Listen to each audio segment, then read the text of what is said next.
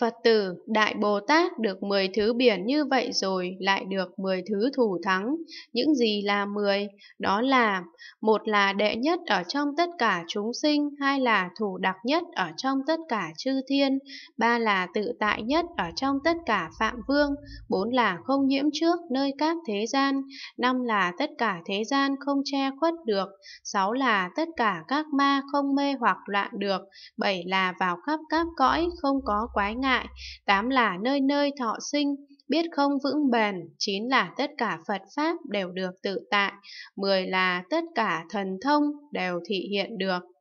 Phật tử Đại Bồ Tát được 10 thứ thủ thắng như vậy rồi lại được 10 thứ lực.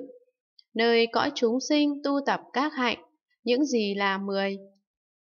Một là lực dũng kiện vì điều phục thế gian, hai là lực tinh tấn vì luôn không thối chuyển, ba là lực không chấp trước vì lìa các cấu nhiễm, bốn là lực tịch tĩnh vì nơi tất cả pháp không tranh luận, năm là lực nghịch thuận vì nơi tất cả pháp tâm tự tại, sáu là lực pháp tánh vì trong các nghĩa được tự tại, bảy là lực vô ngại vì trí huệ rộng lớn, tám là lực vô úy vì hay nói các pháp, chín là lực biện tài vì hay chỉ các pháp, mười là lực khai thị vì trí huệ vô biên.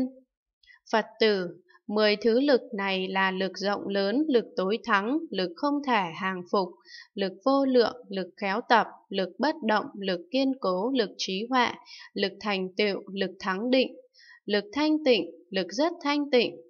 lực pháp thân, lực pháp quang minh, lực pháp đăng, lực pháp môn, lực không thể hoại, lực rất dũng mãnh, lực đại trượng phu, lực trượng phu khéo tu tập, lực thành tránh giác, lực quá khứ tích tập căn lành, lực an trụ vô lượng căn lành, lực trụ như lai lực, lực tâm tư duy, lực tăng trưởng Bồ Tát hoan hỷ, lực sinh ra Bồ Tát tịnh tín,